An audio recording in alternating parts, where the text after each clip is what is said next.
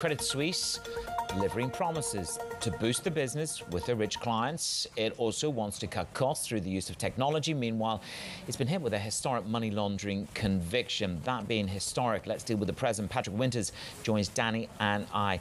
A deep dive, 600 Swiss francs, 600 million Swiss francs of cost cuts, and they're going to focus on Hong Kong, on Singapore. It's not exactly radical, is it? Yeah, I mean, some might think that Credit Suisse uh, might need to take a few more radical steps.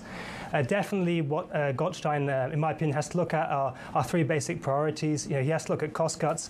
Um, he has to arrest the flow of bad news. Uh, but most importantly, he also has to show that he can kickstart growth in wealth management. And with markets going uh, the way they are currently, we've already seen um, stocks in China slumping, and then it looks like there's a recession possibility worldwide. That's not going to be such an easy task. And of course, we had a, credit, warning from Credit Suisse earlier in the month as well. Some of the targets they're laying out, whether it be cost cuts, whether it be mid, high single digit wealth credit volume growth by 2024. Patrick, how difficult is this going to be for Credit Suisse to achieve?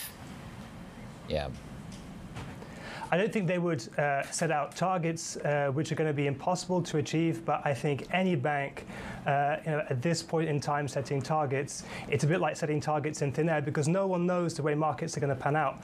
Um, and for a big wealth manager, they're heavily dependent um, on, on uh, the way markets go because it um, uh, ultimately decides how many assets that bank manages um, and how much money they can make uh, from them.